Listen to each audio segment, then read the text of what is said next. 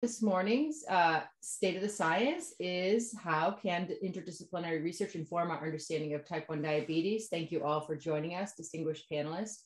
Really appreciate you taking the time out of your busy schedules and um, you know, joining us to discuss this, uh, this topic. Um, this series is a, you know, a celebration of the power of debate and discussion that women scientists in type 1 diabetes research bring to the table. We have a global audience of scientists here today, we thank everyone for joining. I'm going to briefly introduce our panelists. The panelists are going to set the stage for the discussion, and then we ask them to weigh in on, you know, on their thoughts um, on the three, uh, two pressing questions in this arena that we'll share via a poll with the audience, um, the larger audience. So this is sort of like a free flowing conversation, like sort of like a cross idea exchange, town hall, and respectful debate. And as I mentioned, we'll have two um, audience engagement polls uh, during the course of the state of the science. Um, if you um, need a few pro tips, you can to submit a question, you can place in the Q&A or you can submit questions throughout the presentation and participants can upvote favorite questions. At the end of the session, we're gonna answer as uh, questions as time allowed. And this event is being recorded live um, on the Sugar Science um, YouTube channel and will be housed there after for few, uh, further viewing. So in the interest of saving most of the time for discussion, I'll do a very brief introduction for each of our scientists. We could actually take up the whole time discussing each of them. They're valued and integral members in the type 1 diabetes field. Um, and you can connect with them uh, on our website in the CoLab, where many of them are, or you can reach out to them directly. So Dr. Carmella uh, Evans Molina, MD, PhD at um, Indiana, uh, University of Indiana. She is the J.O. Ritchie Professor of Medicine. She serves as the director of the Indiana Diabetes Research Center, the IDRC, and she's the director of the IDRC Islet and Physiology Core. She's an investigator in the Type 1 Diabetes TrialNet Network, where she serves as scientific advisor and as chair of the long-term investigative follow-up LIFT. Um, Dr. Jessica Weaver comes to us from Arizona State University, and her uh, research centers on developing uh, translatable cell-based therapies for the treatment of uh, disease, with a focus on islet transplantation for the treatment of type 1 diabetes. The Weaver Lab uses biomaterials and immunoengineering approaches with the aim to generate immunosuppression-free transplantation stat uh, strategies. Dr. Qizhi Tang uh, is coming to us from UCSF, where her lab focuses on translating knowledge on mechanisms of immune tolerance into novel therapeutics for treating autoimmune diabetes and preventing transplant rejection. Currently, two major areas of work are on trans, uh, therapeutic application of regulatory T cell therapy in type 1 diabetes and transplantation and immune uh, uh modulation to enable immunosuppression free transplant of cells, uh, stem cell derived beta cells for treatment of type 1 diabetes. Dr. Allison Bayer comes to us from uh, DRI Miami um, the Diabetes Research Institute there. And as reported in the Journal of Immunology, her team uh, established an important function for IL-2, IL-2R for the uh, development of natural Treg cells. This will be an important line of future investigation as polymorphism in the IL, IL-2R uh, gene that likely leads to reduced IL-2R signaling is an autoimmune susceptibility gene for both MS, multiple sclerosis, and type 1 diabetes. And her research focuses on understanding the basic immunobiology uh, of Tregs and applying that knowledge to future um, clinical translation applications. Dr. Julie Sneddon comes to us from UCSF. The primary focus of her lab is the niche in pancreatic development and type 1 diabetes. Her research group employs the tools of stem cell biology, developmental biology, genomics, and tissue engineering and her lab studies the underlying biology of the cellular microenvironment, including the cellular diversity and lineage relationships of the non-epithelial compartment of the pancreas in the context of organic uh, adult organ function, and disease. Dr. Kate White comes to us from USC in Los Angeles. She's the Gabilan Assistant Professor of Chemistry at USC, and she's a cell biologist, a structural biologist, and a pharmacologist interested in developing experimental methods for 3D visualization of single cells to characterize the cellular ultrastructure uh, to um, mesoscale organization. And she's also interested in helping to develop integrative whole cell modeling infrastructure to harmonize structural and mathematical, mathematical representations of the cell across scales of biology. And uh, she uses beta cell, pancreatic beta cell as a model. So distinguished panelists, will you please set the stage for this discussion? which is interdisciplinary uh, approaches. How can interdisciplinary research best inform our understanding of type 1 diabetes? Um, I'll ask you just to give a little flavor for your work um, and um, then, then sort of make your point. So um, if uh, Dr. Payne would like to take the stage, that would be great. Right. Thank you so much, Monica, for, for hosting this discussion and, um, and, and bring up this important topic. Um, I am an immunologist. Um, most of my lab focus on trying to turn off the immune response. Uh, we focus on type 1 diabetes and other autoimmune diseases. And that's where the immune system is the enemy and they cause a disease. So we try to turn them off.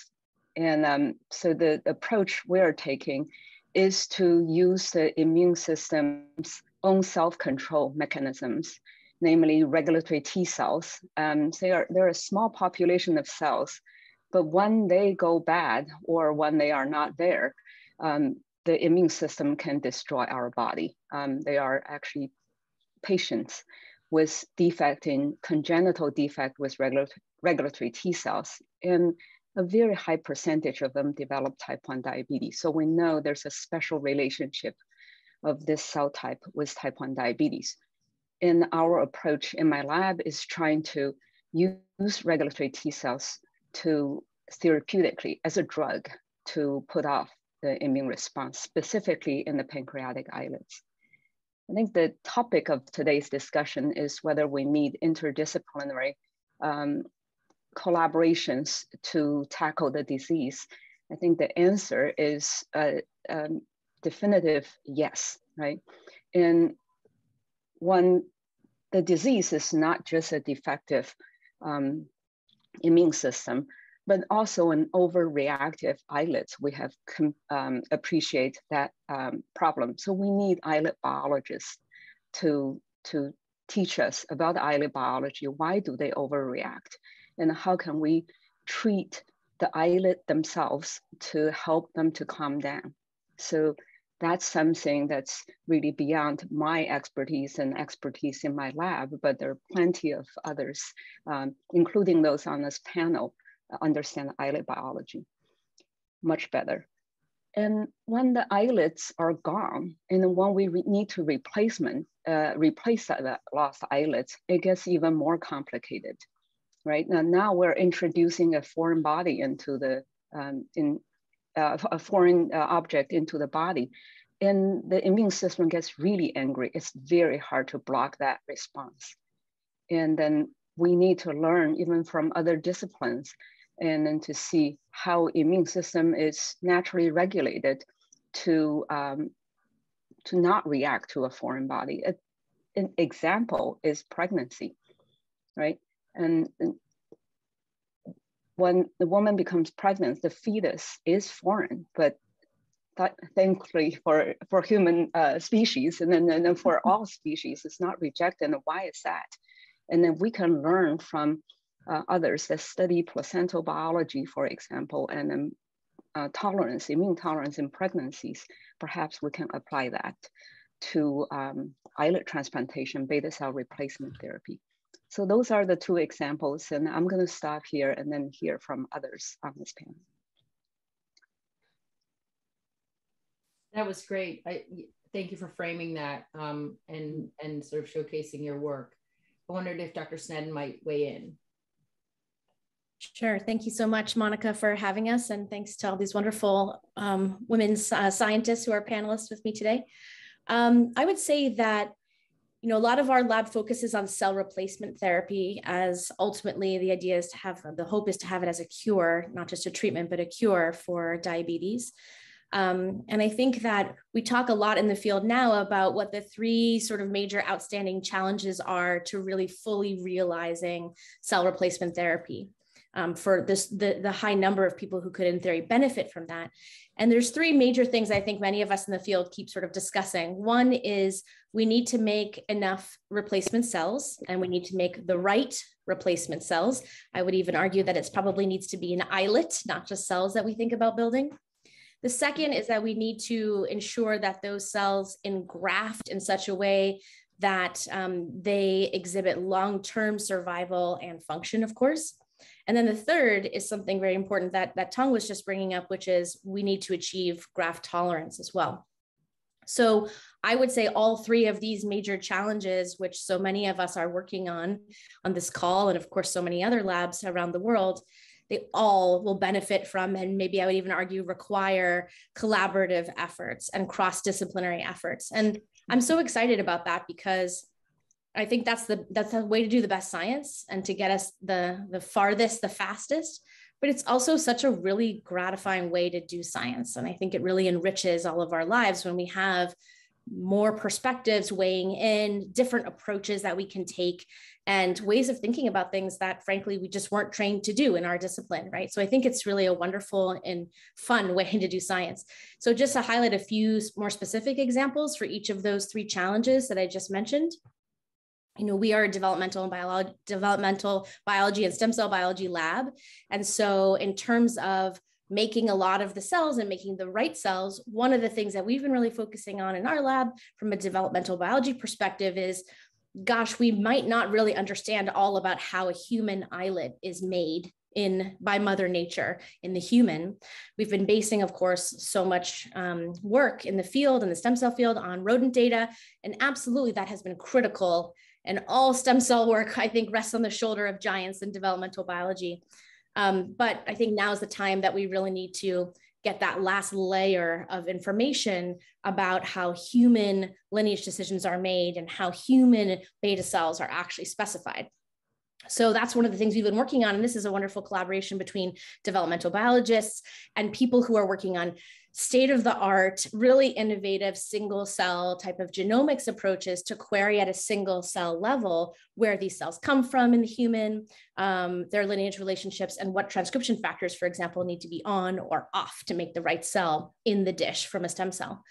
The second challenge um, this engraftment challenge is also really, really important. And this is an example where there's amazing collaborations with um, transplant surgeons and um, many other types of people who think about um, how do you build the right kind of structure, you know, an islet, let's say, maybe bioengineers and tissue engineers.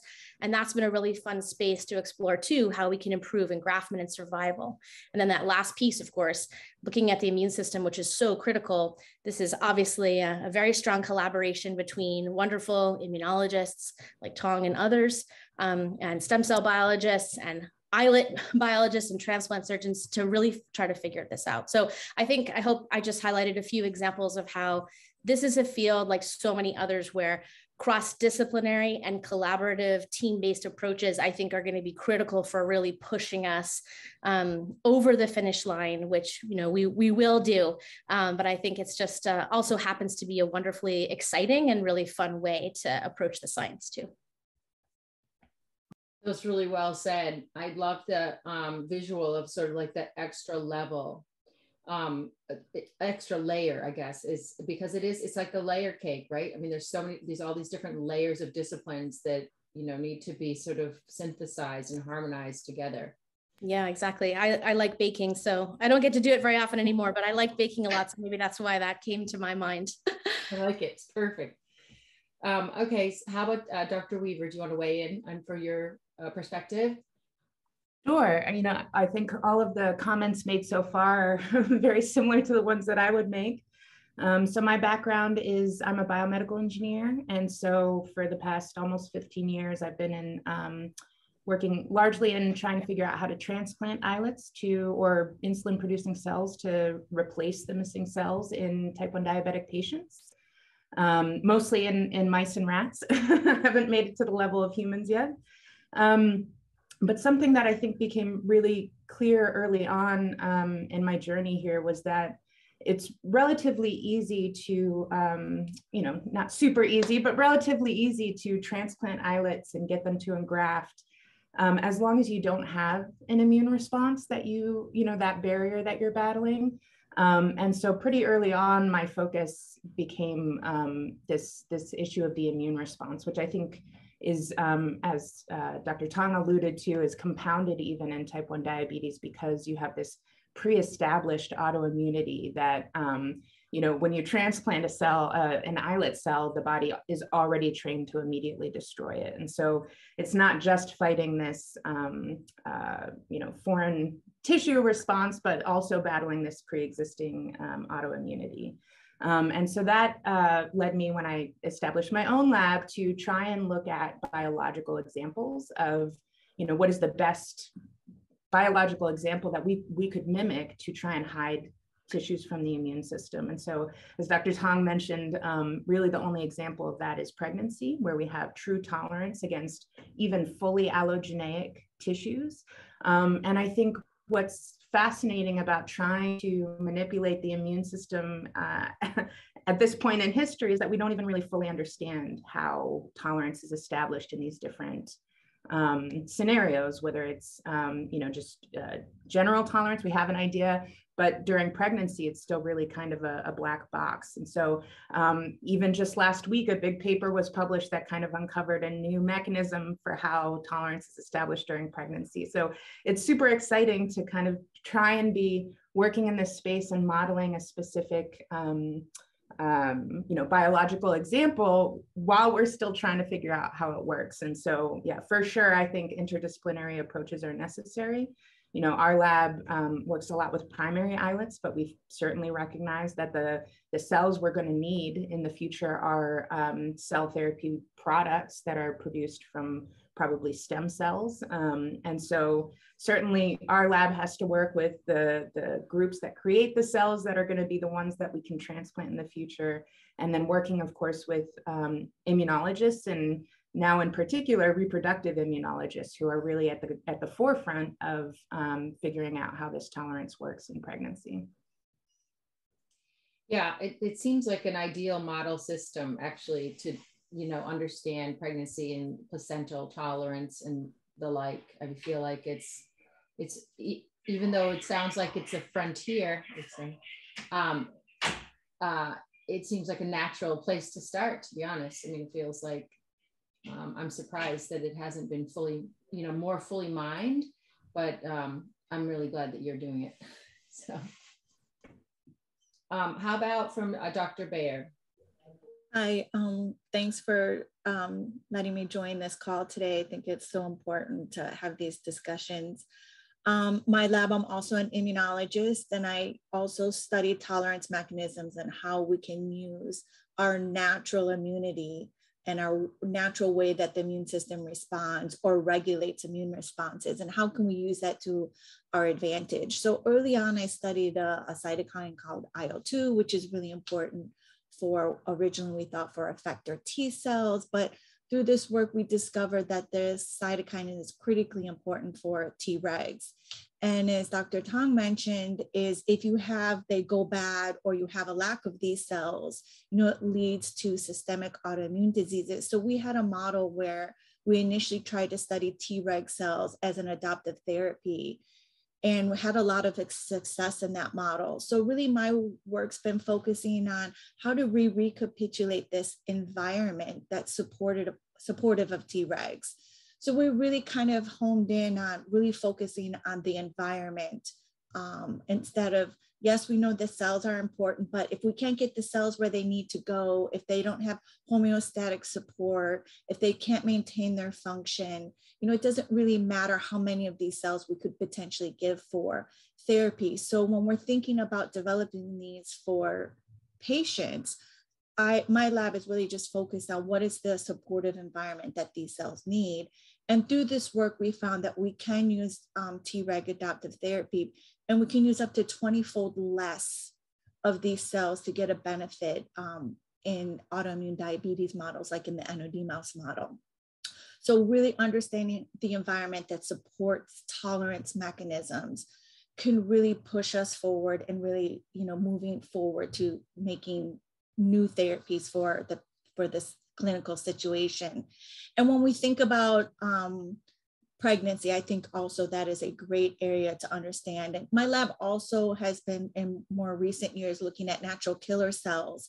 And this really came out of my studies of looking at Tregs and IL-2 because there's this interplay between natural killer cells, Tregs and IL-2, and they both compete for IL-2. So when you change the Treg environment, you can get this unleashing of inflammatory NK cells.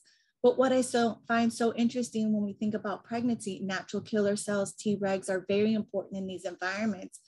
But the one thing that strikes me about the NK cells is they actually have also a non-immunological based role in pregnancy, which is they take the trophoblast when you need to increase vasculature in the placenta as the baby grows and demands more nutrients, more blood flow.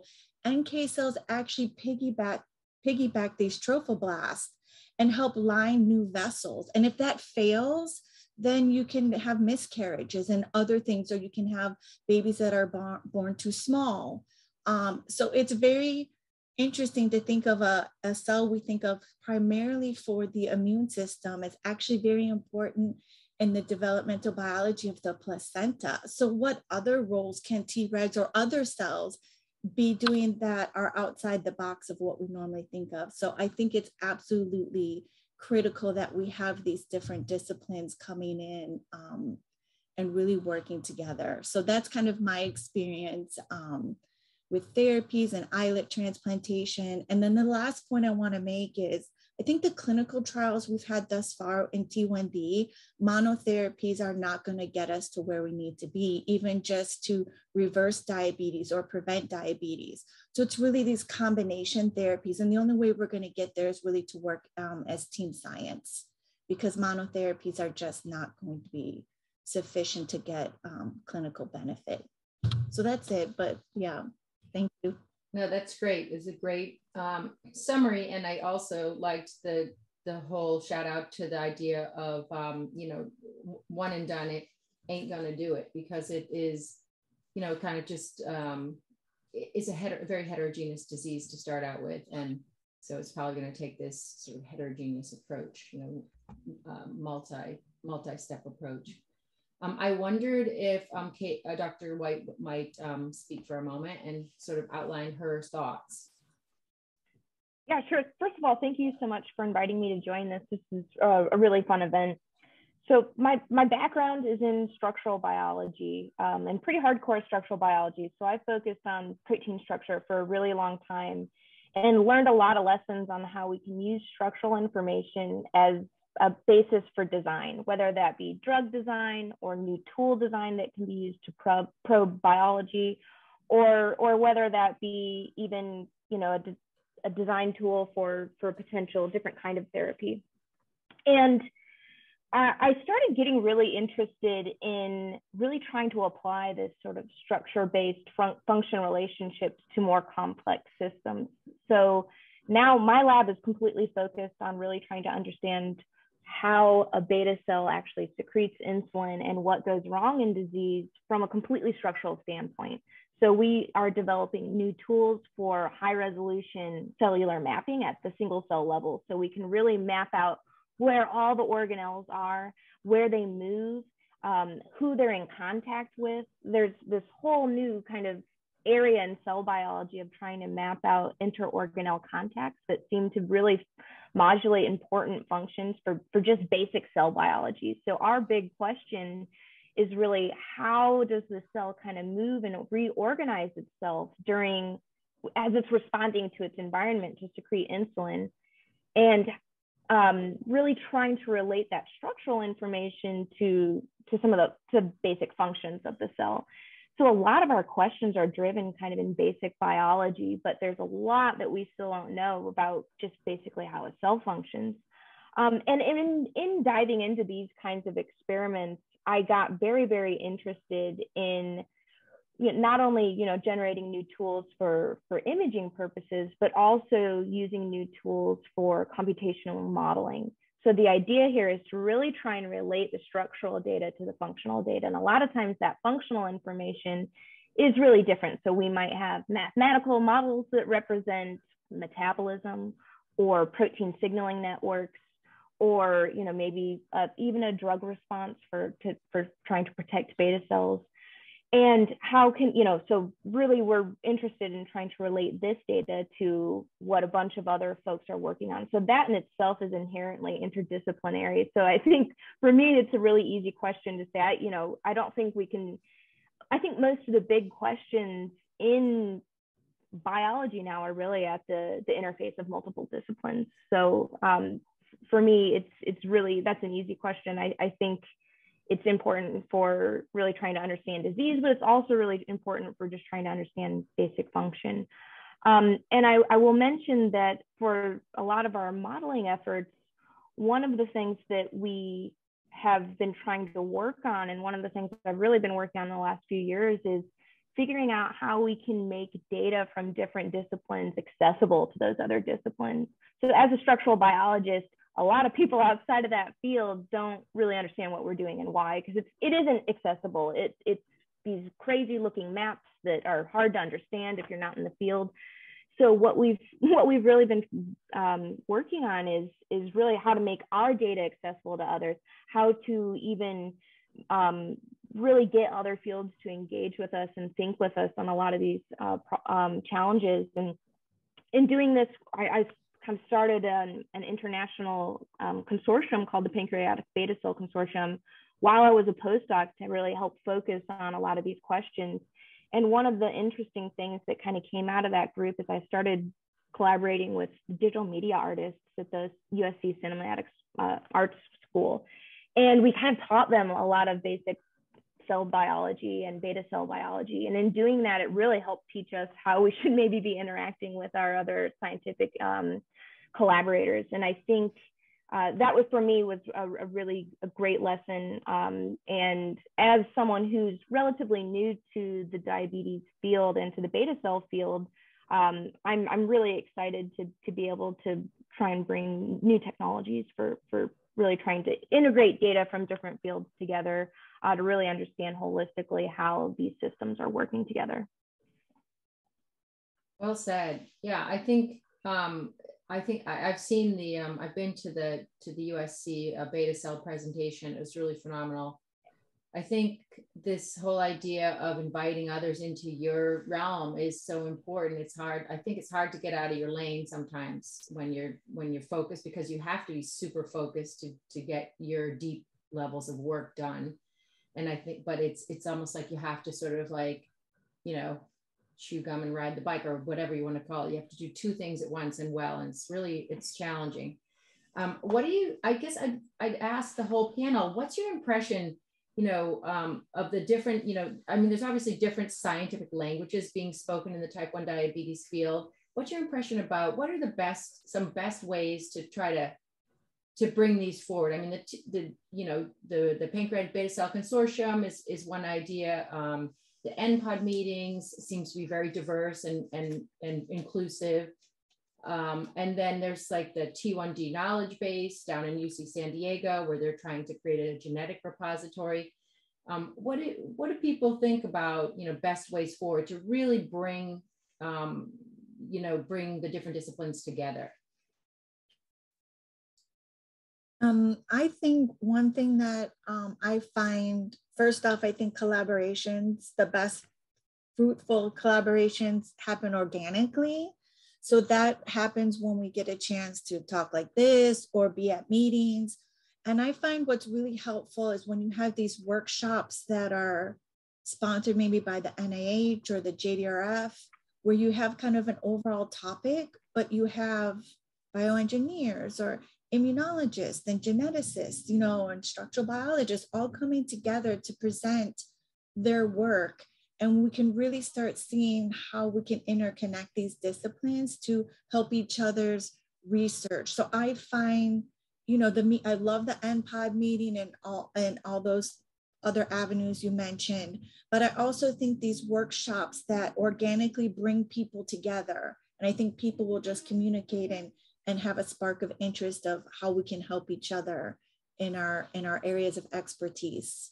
So that's that's my these workshops I find very, very good. Yes, feel free to dive in. Okay. Um, I was going to just echo something that Allison said, and also Kate. Um, you know, this idea of communication and what what is the most effective way to communicate, I guess, cross disciplines, and maybe you're also asking Monica with the public too. And I think these are such important questions. Um, I just I just zoomed into my daughter's third grade science class yesterday, and uh, it was so amazing because they wrote thank you notes already, which was so sweet. It's like I'm going to save them forever.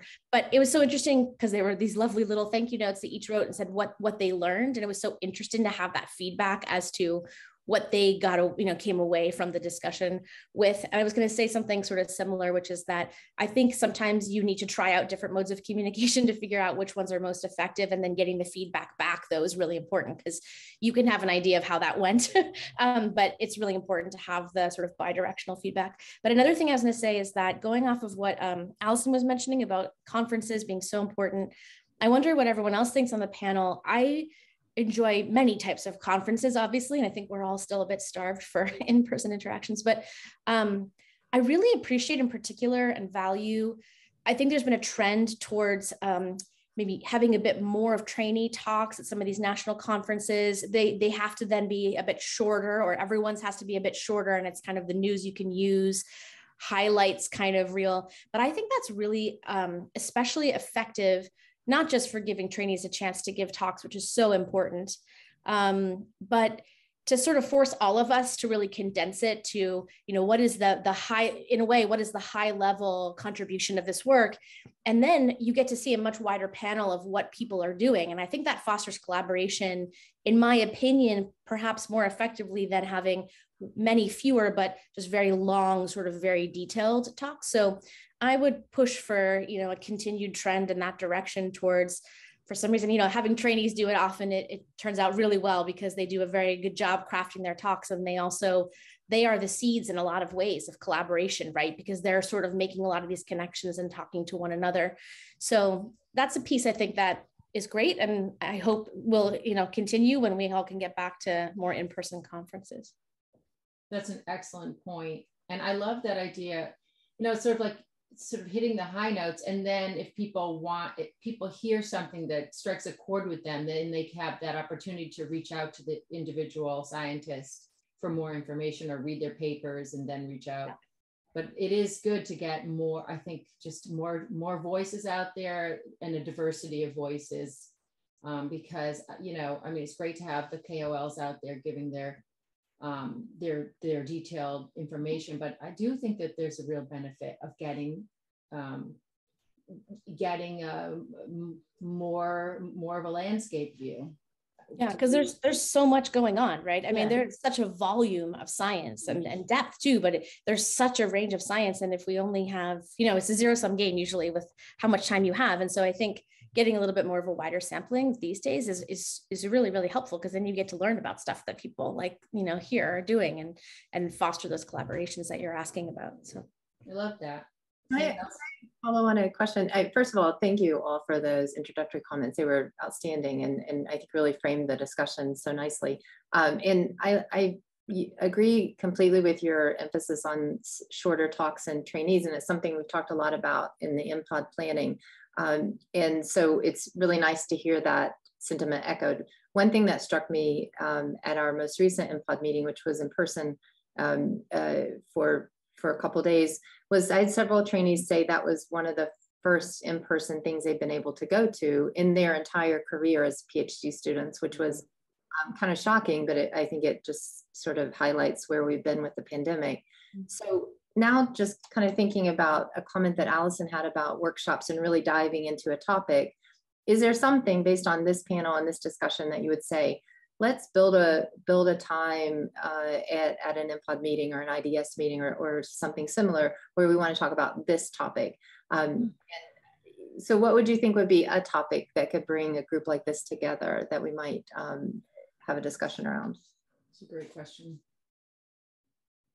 Well, I think our we keep going back to reproductive immunology, right? So that would be great because it it it automatically will bring in all of these different disciplines um, to study develop, developmental biology. How is the immune system protecting baby? And what other just avenues go into setting up that tolerant state um, and allowing the baby to continue to flourish? So I think that's like a perfect topic. I was so happy when when Monica had this as a topic um, to discuss because I do think it's a very underappreciated area where we could really make um, leaps and bounds because our body's already doing it. So we just need to learn how it's doing it and then figure out ways as scientists how we can then apply. So I think reproductive immunology is, um, you know, a perfect opportunity to bring um, a, a good workshop. And there are even, you know, scientists at Stanford and um, at Harvard who are really they're trying they're trying to figure out how to even make an artificial placenta. That would be that would be cool if they could also be there to weigh in. Yeah, like I said, NK cells kind of blow my mind. They have this very important role, non-immunological role in the placenta. If you don't get the increase in vasculature as the baby's demand um, needs, you know, bad things can happen to the child. So um, just, you know, there has to be other things that are going on that are just going to completely blow blow our mind of like what's going on in that environment. I'm all about the environment. So I definitely think understanding that environment in the placenta is really important. Yeah, on that note, I think there's another environment that's extremely immunosuppressive, but we come to realize, which is the tu tumor microenvironment. If we can bring in tumor immunologists and then really those who are studying cold tumor, meaning the tumor doesn't have immune system in it. Those are the tumor that's hardest to treat. And then that may give us some clues in how to keep immune system out of the islets. And I think there's not enough um, communication between the tumor immunology and also transplant immunology. Yeah, another great consortia build. um, how about from the structural side? You know, Kate, um, like how can you get more, you know, chemists and structural biologists to interface? Could you build a repository? I mean, how could you do it? Yeah, actually, um, you bring up a great point, and that is one of the things that we're working on is um, really developing um, uh, basically open science kind of approaches to allow other structural biologists or other imagers that are doing kind of similar work as we are to, to have a place where they can deposit data. So that really pulls off of these other fields that have developed their own databases, like there's a cryo-EM database, there's um, for, for especially for individual proteins, there's a protein data bank. So we're really trying to learn lessons from how they have already done that. And then basically um, have a system to interface directly with that to try and pull all of the data that's required for really trying to understand beta cell biology together. Um, so that's, I think, at least one way to help folks contribute their data, even if they don't necessarily want to dive into maybe some of the actual biology questions that we have, but it still is a great way to get that data kind of more accessible. Um, and then, you know, the more that we on our side try to make our information accessible to folks like you, um, I think that kind of helps as well. Uh, but it's, I guess, uh, you know, I think I think kind of the more that we sort of talk about these um, maybe underdeveloped areas in research that, as a group as a group like this kind of the better because it helps us even identify ourselves what like really what are the big kind of areas that there there are for discovery still. Um, and that's i think that is generally helpful. Kate, when you think about these kinds of exciting repositories and sort of building databases across disciplines, which is such an exciting idea, this is kind of a naive question, but is there is there a role for things like you know um, you know AI basically or machine learning to try to extract some types of meaningful features across yeah data, or is that just not possible right now? Uh, I mean, it's something we talk about a lot, and there. I mean, there are a lot of other groups trying to do this kind of work too. So a lot of people are interested in having these data repositories that are available to others, but um, it, certainly as we move forward, I mean, I don't think this is something we can really do right now at this current moment, but as we're moving forward, we are keeping that in mind um, because there are, there has to be patterns between, you know, these different data sets that are meaningful and important, and we just don't know to look for it yet.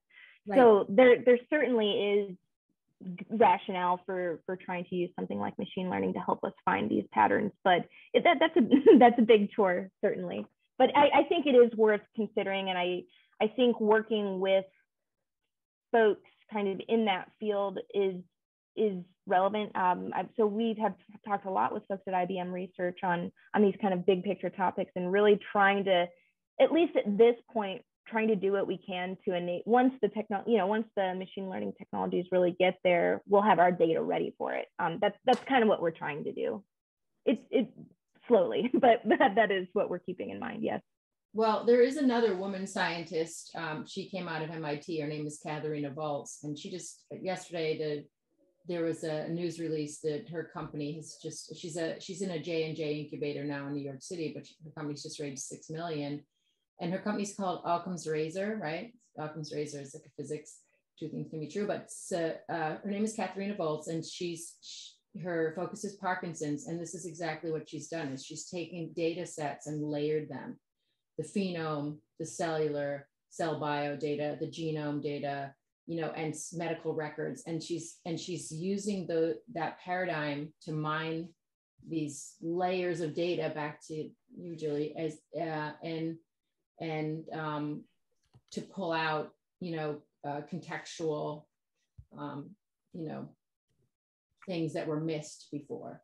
So it's a really fascinating company, and I mean, it could be a great model system for type one. I think.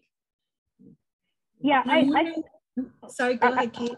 I was just going to say, I think that's fantastic because it's we're certainly missing things that we don't know to look for. I mean, if if that wasn't the case, we would this problem would be solved. So I, that's exciting to hear about.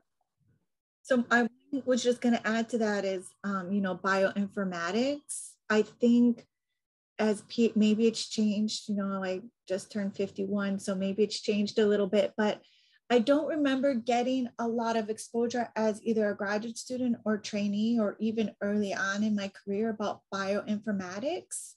And it's really something that you have to kind of dive in and learn on your own by, by forming collaborations and looking, especially as the technologies grow, how do we take these big data sets and really get meaningful and bio, you know, and able to answer biological questions and then how to layer these on top of other disciplines, I think is is, you know, we're not necessarily taught that. So maybe workshops that include some bioinformatics. Um, and so we can start thinking about how we can relate our data to each other, I think would would be helpful too, especially as there's younger people and not so younger people within the audience. Yeah, well, I mean, the sugar science together with DKNet, we ran a D challenge and we asked, you know, we put out these data sets to the community and, you know, we had 58 participants. They came in, they mined the data and they came up with these novel hypotheses, you know, not just judged by us either. It was like judged by some, you know, the, the T2 and T1 knowledge base people and Ben Busby from DNAnexus. So they were like experts judging what they came up with. And they, and, and and the DKNet people sort of like taught them how to how to wade in, although they were many of them were younger and they already knew how to wade into these data. But so, so we're gonna do another one, but this is an opportunity for people to kind of like get their feet wet and understand like, okay, I, we can go back into the literature and like look through some of these data and see what we come up with. But you're right. I think it is, um, again, it's another wheelhouse of information that you have to kind of um, try to learn. exactly. Um, I yeah, wanted to just, oh, sorry, go ahead. Yeah, I'll just piggyback off of that and say that I, you know, I find myself as a PI now constantly wading into spaces that I have no training in. Um, and big data is one of those spaces where you know i'm i'm interested in seeing what are the you know immunomodulatory secretions of these cells. So let me send off a sample to proteomics and now i have no idea what to do with the data. So mm-hmm. it comes back to the the need for interdisciplinary approaches and and needing collaborations in these um, relatively well it seems to me new spaces because i also did not get any um, training in this area when i was you know going through school. And so um, yeah definitely especially as we get more and more information and more and more data we need people who can um, yeah help me help me at least. Exactly yeah. data. Um yeah or just like a friend you could you know reach out to and uh, and get the get the feedback from within your network professional network i'm going to launch poll one and hopefully this will be of interest to people. It's mm. um, what um, interdisciplinary research has the most chance of informing our understanding of type 1 diabetes multiple choice. Um, can, can everyone see that? Yes. Okay. So let's see what we have to say. The answers are graft versus host disease, placental biology, cancer research, immunology, developmental biology, and a computational uh, bio, like that being done at USC, all of the above. And I feel like we've touched on every single one of these. So all of the above. So just getting some answers. Yeah, I mean, it, it really, I think it really does. Just getting back to that layered approach, the layered approach, and then coupled with some of these new powerful data mining tools might be really exciting. Um, yeah, interesting. One more minute till we get at least 50% of people weighing in. Um, if you've got if you're out there listening, please don't be shy.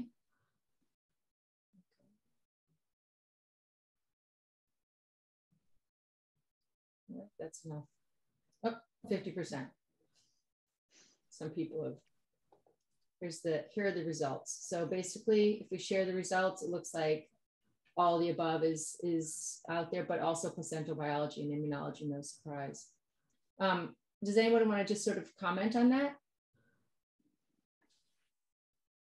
I think his immunology is so complex just on it on his own on our own, as uh, Dr. Tang said. I mean, we have innate immunity, we have adaptive immunity, we have the underlying autoimmunity, we have transplant rejection, you know, going on in the islet transplant setting and we still don't even have a good understanding of the interplay we know the innate needs to happen in order for the adaptive to happen and but we don't really understand the inner relationships of the cells i think that's still lacking. And even from treg biology point of view is we don't really even understand how the tregs when they are applied and we see therapeutic benefit how is it changing the micro you know the microenvironment? How's the landscape changing? Are we getting less M1s, more M2s, what's happening to dendritic cells, what's happening to these other inflammatory cells. We really just don't even understand from a Treg based approach of how the Tregs actually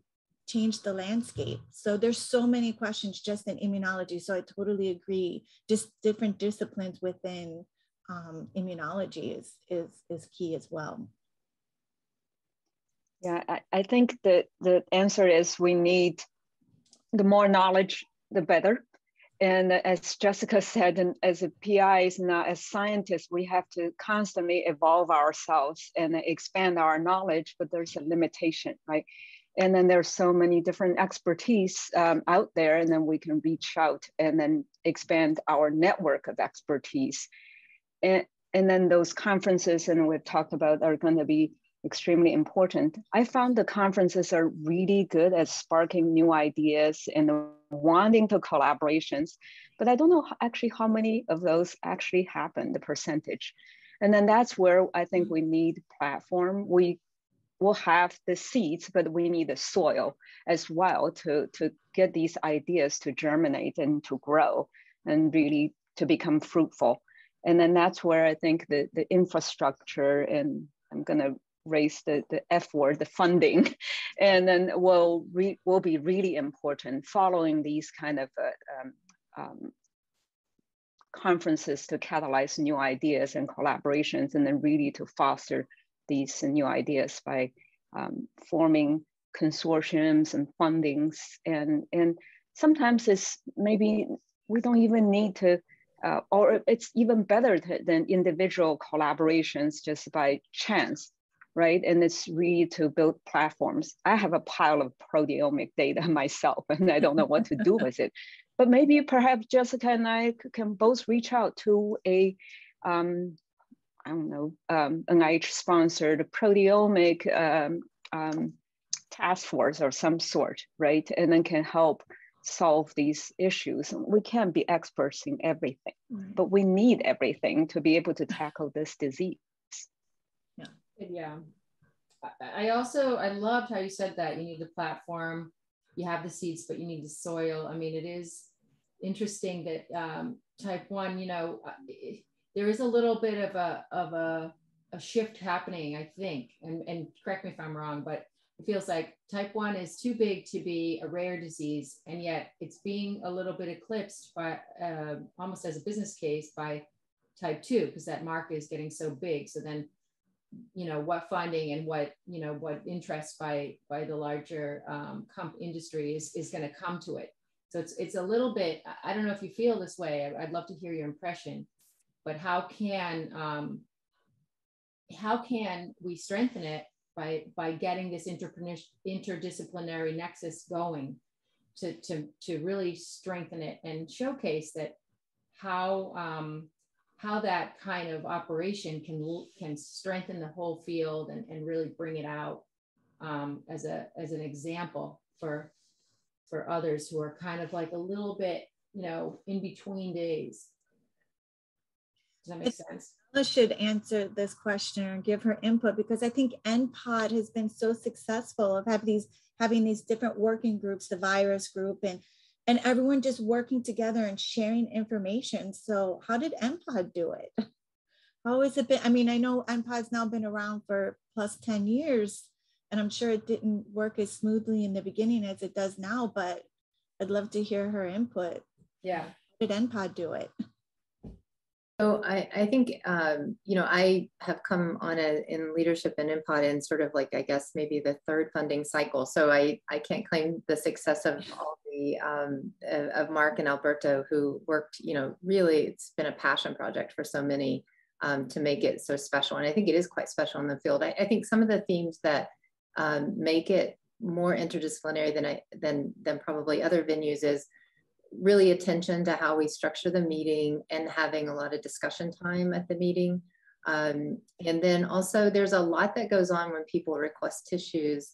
Um, they may not have experience in, um, in type 1 diabetes even, but want, want to ask a question using the tissue. So there's, or they might, um, you know, have sort of limited uh, collaborations within the field. So there's a lot that happens uh, at the tissue prioritization committee to say, oh, that's a really great question. Um, have you ever thought of asking this additional question or working with this person who's asking this question? Or let us give you some guidance on how you can best use the tissues. So I think that um, we very much value um, the organ donors and the families of the organ donors who've been gifted this incredible resource to the community. We want to make sure that we're being very good stewards of those gifts. So, um, so I think there's a lot that happens. Um, I saw Sarah Richardson was attending. She's on our TPC, just you know, has amazing input um, on that committee, as do many others.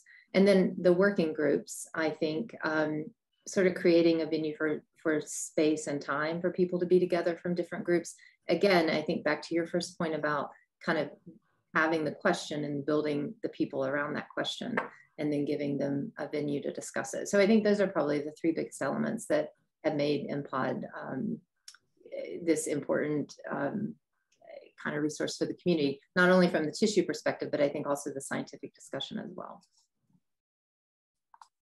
Yeah, it's a great, um, it's a great example for how to do things right, I think. Um, okay, I'm gonna launch one more poll. So we're getting towards the end of our time, it goes by so fast. How can interdisciplinary research be invited and encouraged to collaborate with T1D researchers and projects? Financial incentives and directives from NIH, financial incentives from JDRF and et cetera, other funding operations, organic out, outreach driven by scientists, digital platforms or hubs, in-person meetings, other.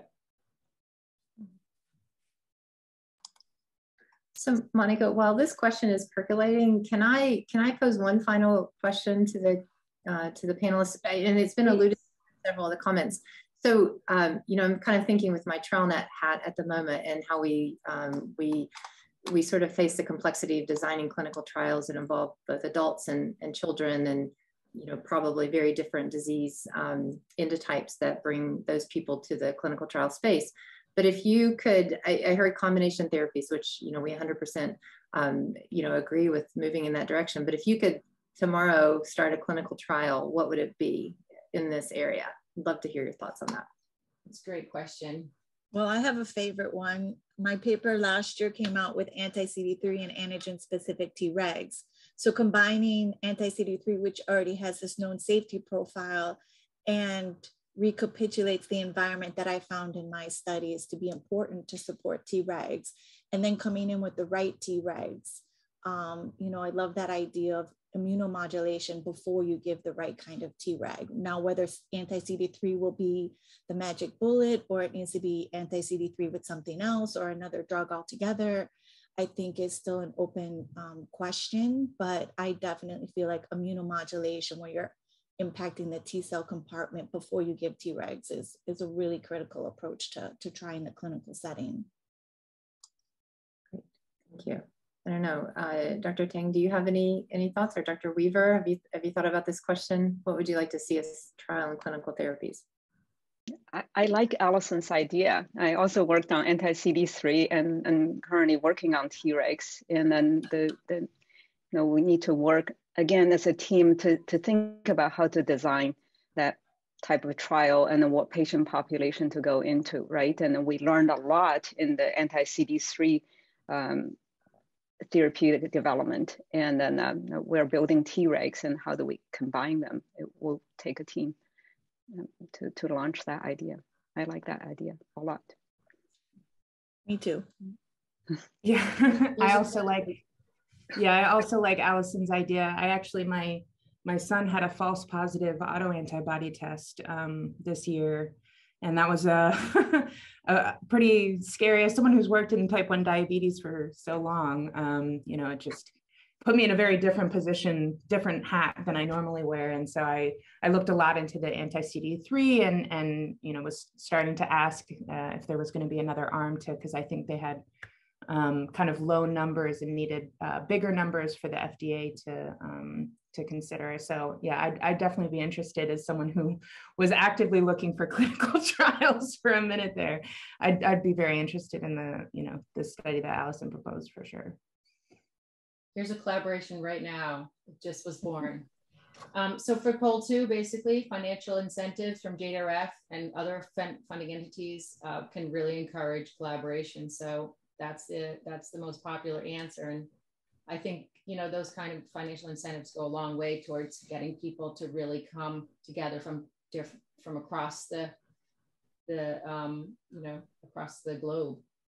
So um, I guess um, you know I, I think we have like three minutes left. I wondered um, what are your thoughts to sort of just how how can the prodrome be approached from an interdisciplinary you know, state. I mean, you've got Dr. Evans Molina has, you know, you've got a, a, large experience, a long history of experience in the clinical trial space. You know, what what do you think will um, will it take to dissect the prodrome uh, of type one? You know, maybe even just define it as young kids or teen kids or whatever you want, whatever window you want. What what disciplines need to participate there? Well, um, I think that um, you know, one of the things that we do often when we're thinking about how we're going to in, intervene in the disease is when we have an idea, we because it's easy to identify people in stage three when they are diagnosed with type one, um, many things get tried there, and we have this um, very sort of practical hesitation to to test out new ideas in autoantibody positive people because they're difficult to find. They're sort of a very limited pool of individuals. So I think, you know, this idea of how do we um, take all this great science, but then public with or partner with public health um, experts to think about population-based screening um, or how we identify a larger pool of people who are at risk, both to to perform clinical trials or then also to, to potentially treat and intervene in the disease process. So that is that is I think probably what I think is the next barrier for how we can you know, if you think about, I have this timeline and talks that I give, and it's been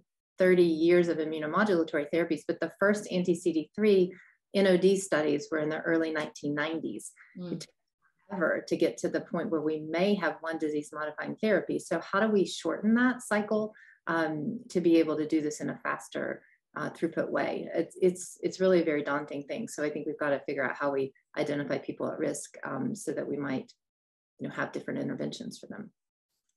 Yeah.